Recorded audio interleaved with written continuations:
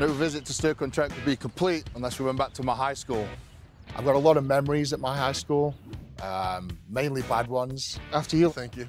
I suppose a lot of the teachers wouldn't like me there, but there's one teacher that I did actually get on with.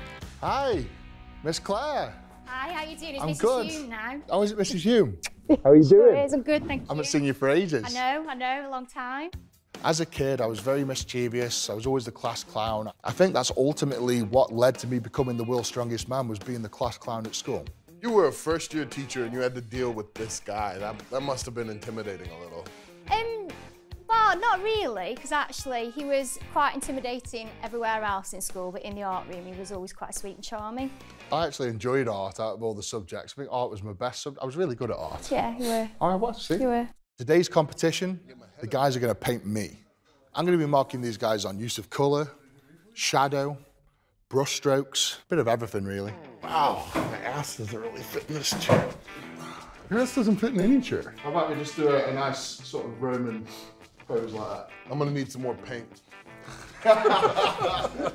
There's one thing that's exactly the same between being an artist and being a strongman, and that's technique.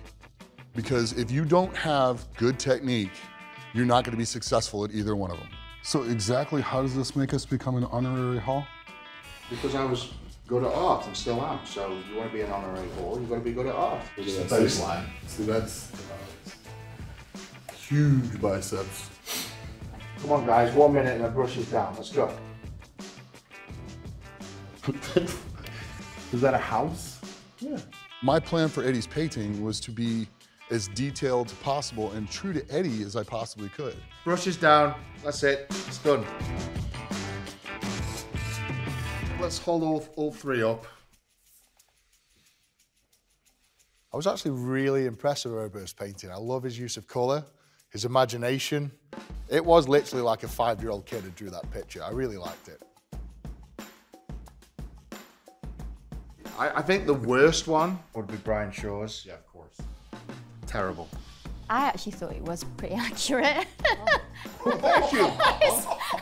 I did think it was pretty accurate.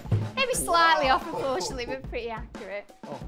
It's a real tough one between these two now. I mean, Nick's is good. He's put a lot of effort in. He's got the detail, but then Oberst has just got such good creativity. I- And I really appreciate that you've actually captured the sun smiling down on Eddie Hall.